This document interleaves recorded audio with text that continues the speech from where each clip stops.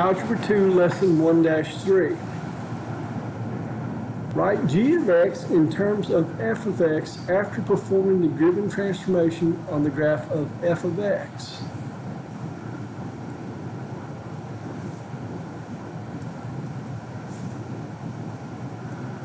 We want to translate the graph of f of x to the left three units. So we got this point here. We'll go one, two, three. And we have this point right here. One, two, three. And this point here, one, two, three.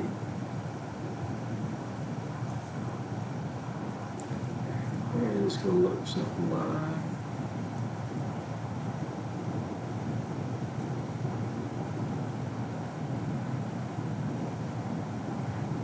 And there we go. So g of x equals f of x plus 3. And that moved it to the left 3 units.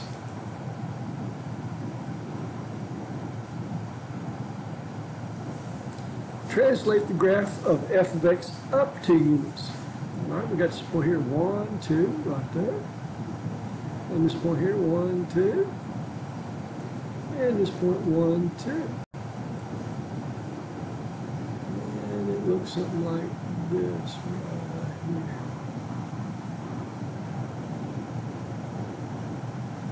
here. And we see g of x equals f of x plus 2.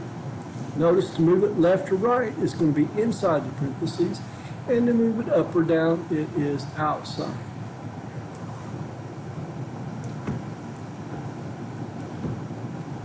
Number three, translate the graph of fx to the right four units. So we're, we're here, we're going to go one, two, three, four. Here, we're going to go one, two, three, four. One, two, three, four. One, two, three, four. And one, two, three, four. So this is going to look something like this right here.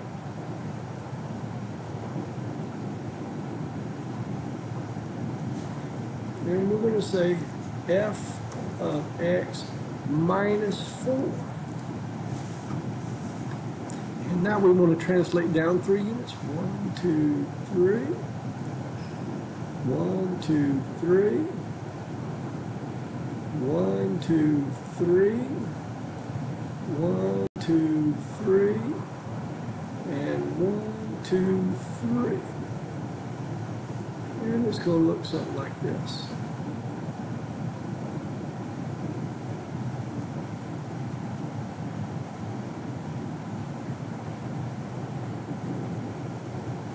And we would say here g of x equals f of x minus 3.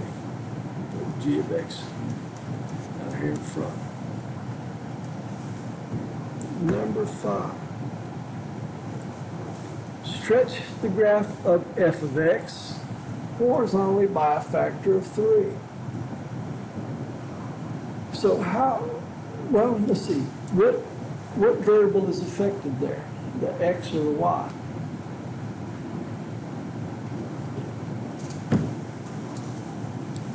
We're going to take this, this point here, this is negative 2, 0. We're going to multiply the negative 2 by 3, and that's going to give us a negative 6. Okay? And how about this point here? We have 0, 2. If we multiply the x by 3, we're going to get 0 still. And here we've got 2, 0. Multiply the x by 2, the x by 3. Gives us 6. And we're going to be here, and it's going to look like this. And there we go. Right. So this is going to be g of x equals f of 1 third x. Okay? We stretched it out horizontally. Stretch the graph of f of x vertically by a factor of 2. All right, here we've got negative 2, 0. if we multiply the 0 by 2, we just get zeros. So that's going to stay right there. Here, this point here, we have 0, 2. If we multiply that 2 by 3, we get 6. Or by, yes, multiply it by 2, we get 4.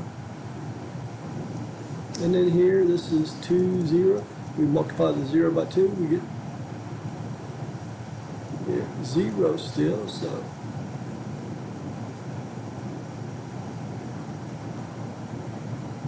And there we go. And this would be g of x equals 2 times f of x. Good job.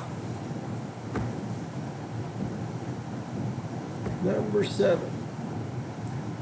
Compress the graph of f of x by a factor of one third. Now we're talking about horizontally, right? So which which one is going to be affected by that? The y or the x. I'm sorry. So we've got some point.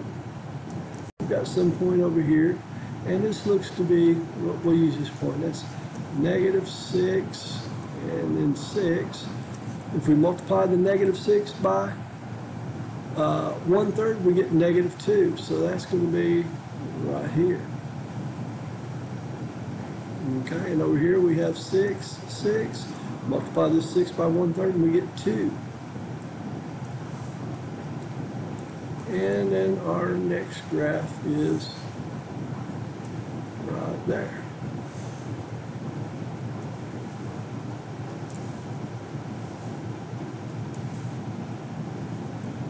There we go. And that would make sense. Compress it by a factor of one third. And that's going to look like g of x equals f of 3x. Hmm. Compress the graph of f of x by vertically by a factor of one half. All right. So if we're going to compress it by one half, we've got this point here. This looks to be uh, 6, 6. So this 6 here we're going to multiply by 1 half, and that's going to give us 3. That's going to put it right there. And then over here we've got negative 6, 6. Again, multiply this, and we're going to get 3. And we've got something that looks like this. and that would make sense. Uh, this, this here is half of that right there.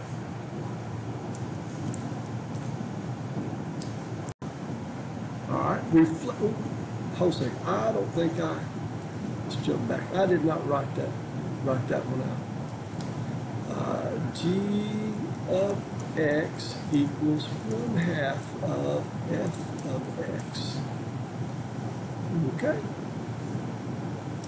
Number nine, it says reflect the graph of f of x across the y-axis. So we, we have some x, y, that would become x negative y, right?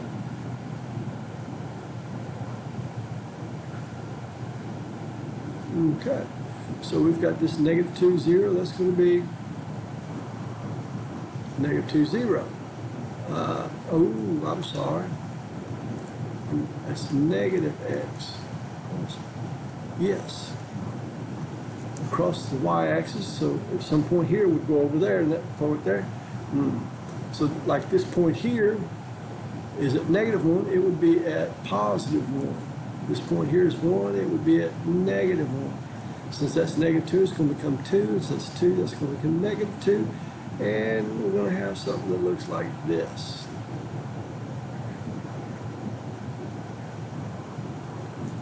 Okay, and this would be g of x equals f of negative x.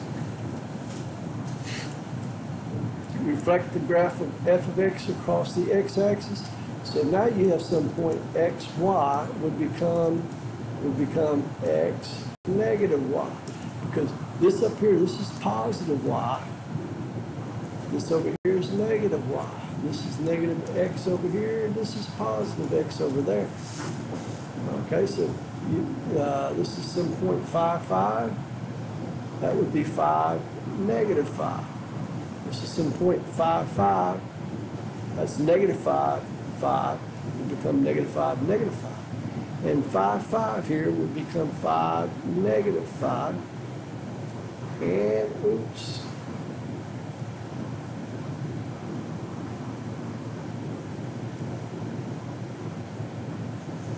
Let's go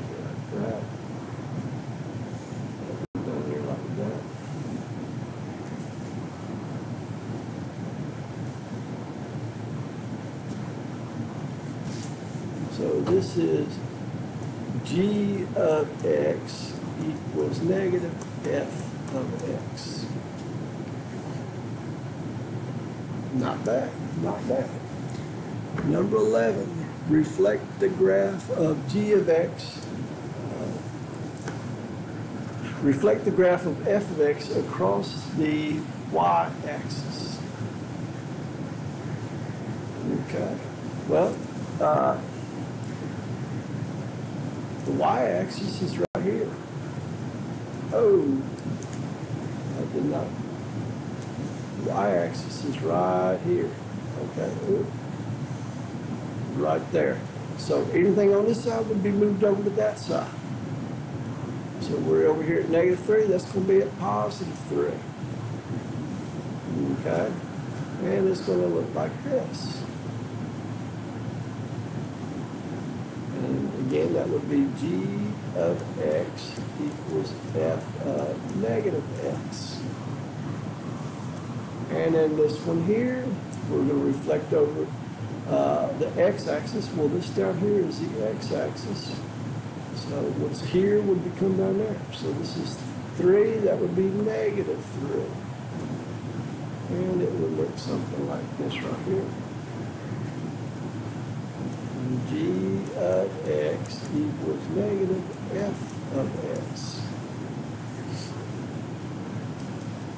Doing well, doing well.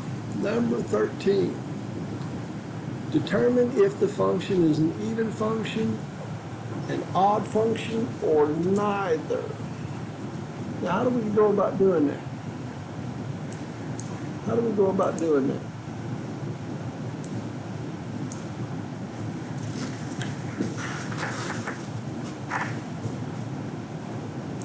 If you go back in your notes and let's see, let me go. Okay, on page 35 in your notes, it gave you the definition of an odd and an, and an even. Uh, even, even said if f of negative x equals f of x, it was an even function. Odd, if f of negative x equals negative f of x, then it was an odd function. All right, so let's try to apply this. You had this point here, you had this point here, negative 2, 0. Okay, so let's try this. So f, uh, well, negative, negative 2,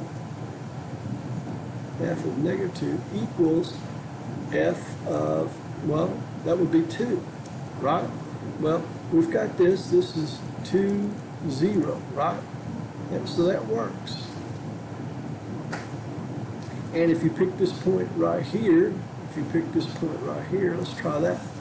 Uh, f of negative, negative 1 equals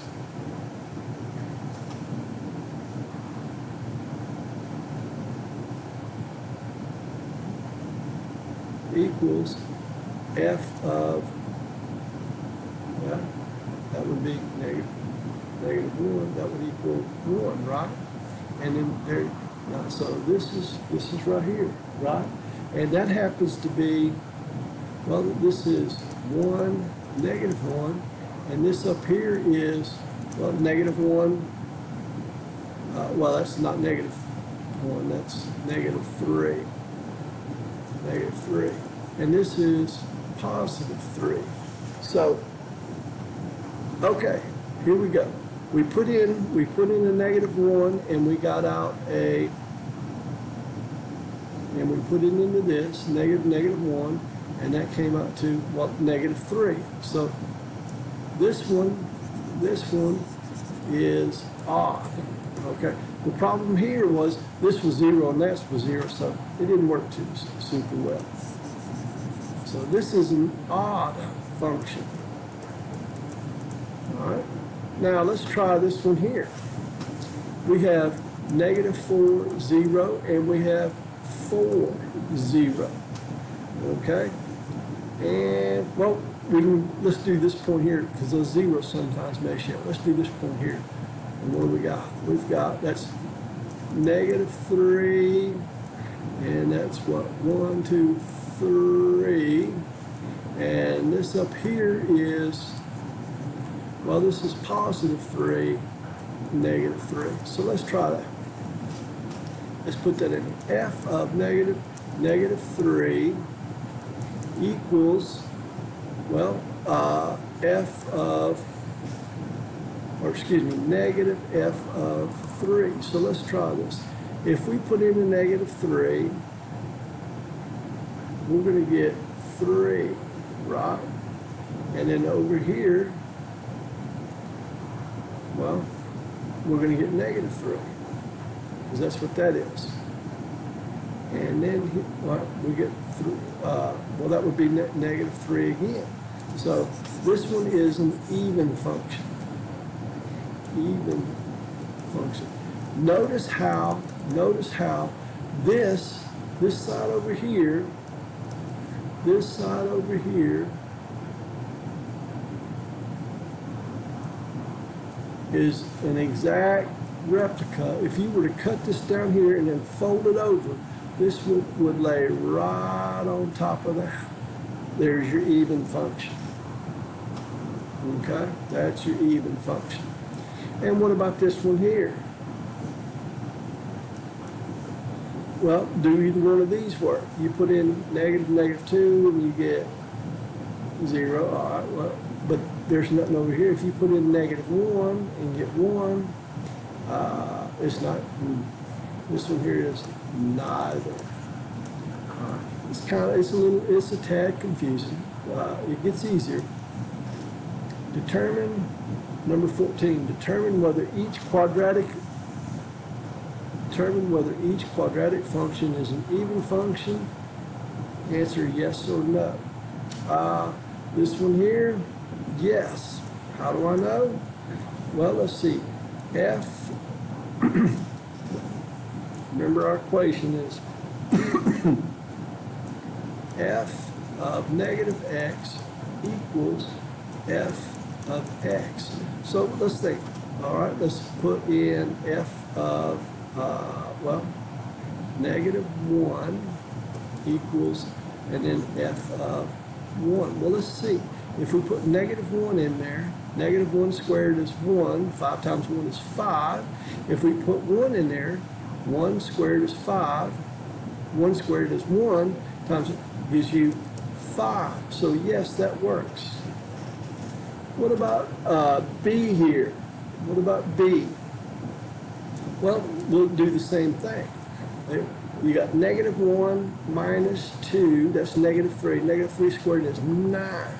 Well, if we put 1 minus 2 is negative, 1 squared is 1. Those two do not equal each other, so that is no. All right. And let's go over here, C. Well, we've got, well, we'll try the same thing again. Negative 1 divided by 3 is negative 1 third squared is 1 ninth.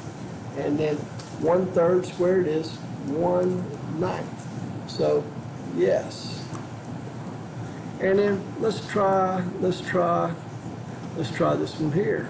Well, one, negative one squared is one plus six is seven, and then one squared is one plus six is seven, so that is a yes. Okay, that is a yes.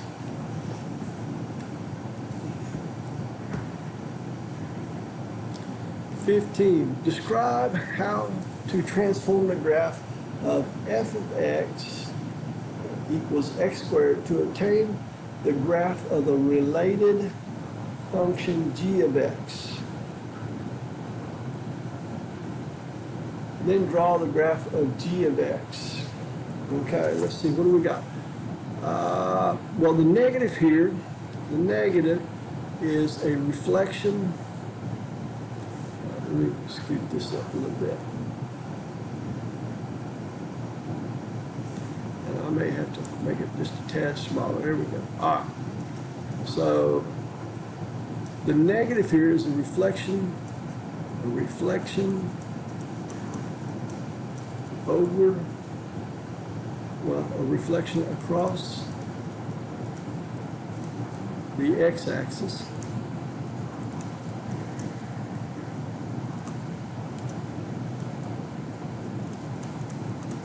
So that's, that's the negative one here, negative one.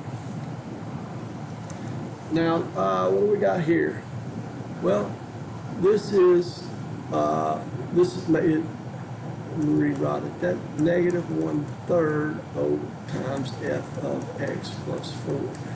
So now we have the one third, the one third is a vertical compression. That- It's kind of small.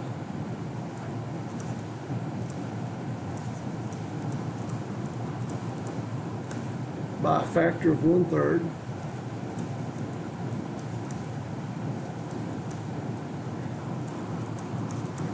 And then the last thing we have here is this right here. I know it says plus four, but that's going to be, it's really negative four.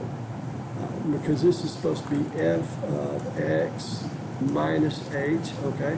So if that's plus four, then that's really minus negative four and that's going to be a translation, translation, four units left. Left. Okay, so how are we going to graph that? Well, first, we, we should, F, uh, let me, uh, the original, the original was x squared, right? And so zero, zero, one, one, and then two would be four, and that was, that's gonna look like this right here.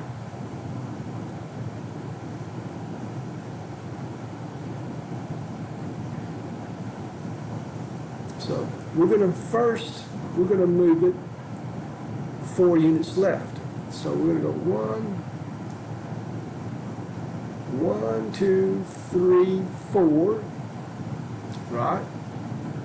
That's what we're gonna do first.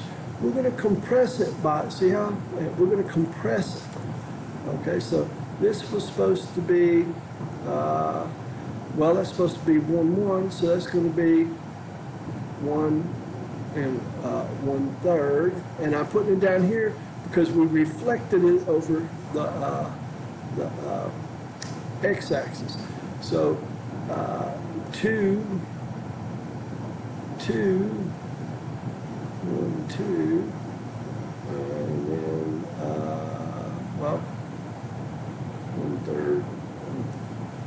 So it's gonna look like this right here.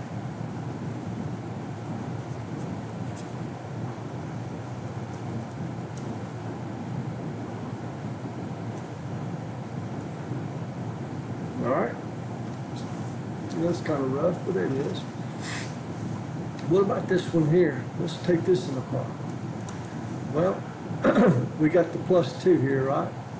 So the plus two is we're gonna translate, translate up to, well, two units.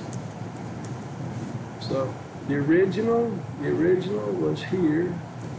And then one, two,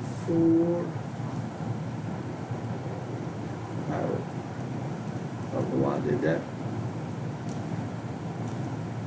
One, two, four, and then three would be nine, but it's not on there.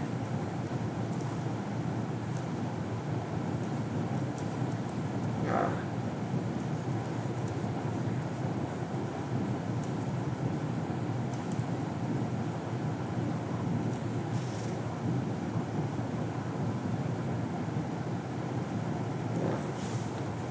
Anyway, we're gonna translate up to units, so instead of zero, zero, we're gonna be here. All right, and then what else? Well, this is two x, right? So that's gonna be, uh, uh, this is two x, so we're gonna horizontal compression, compression,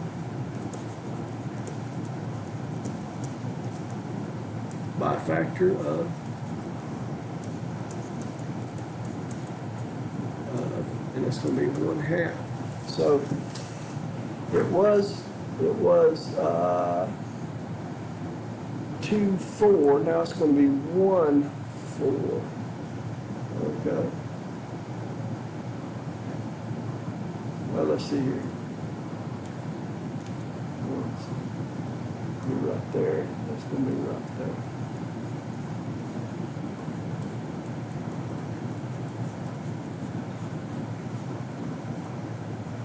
Okay. And then there we go.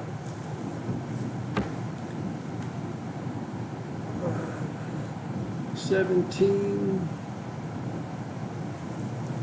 Flying buttresses were used in the construction of cathedrals and other large stone buildings before the advent of modern construction materials to prevent the walls of large, high-ceiling rooms from collapsing. The design of a flying buttress includes an arc.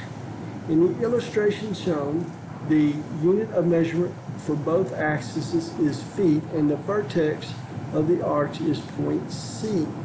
Find a quadratic function that models the arch and state the function's domain.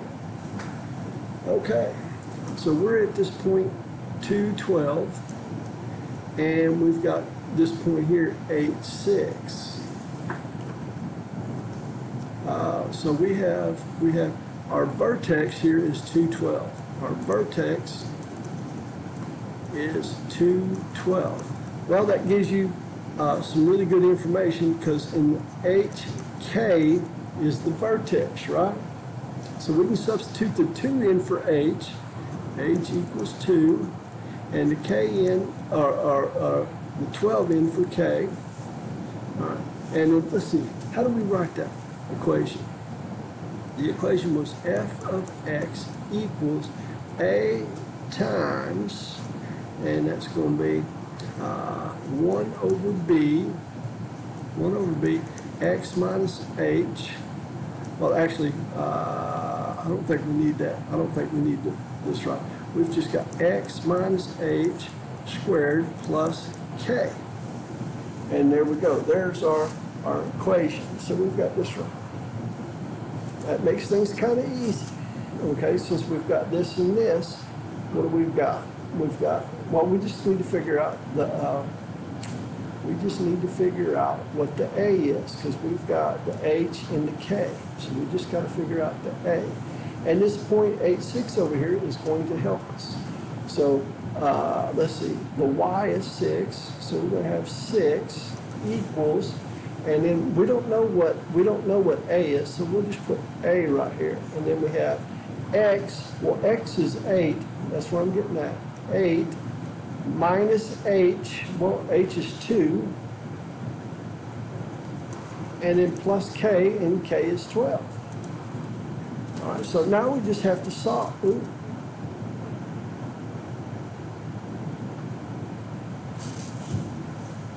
Now we do, well, this is actually squared. So let's subtract uh, 12 from that. It gives negative 6 equals A times, well, 8, that's 6, and that's squared.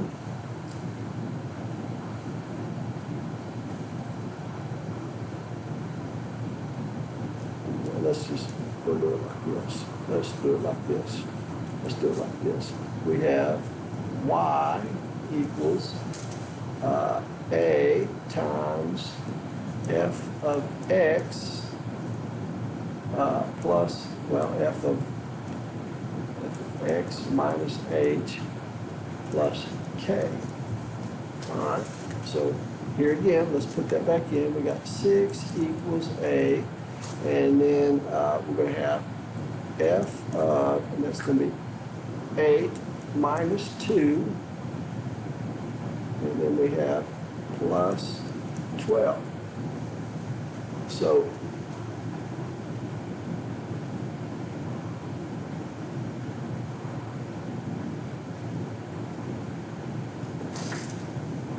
Well,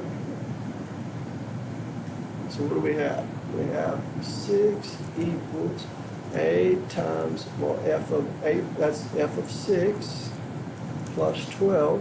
Well, F of six, there we go, that's thirty-six. Thirty-six, because X is squared, right? Thirty-six. And then, well, let's solve for it. What do we got? Uh, subtract, uh, twelve from both sides, we got negative six equals thirty-six A. And divide both sides by thirty-six, and we got negative one over six equals A. So g of x, g of x equals negative one over six. Uh, and then what is doing by x minus two plus twelve. And if you put that in that calculator, you get that.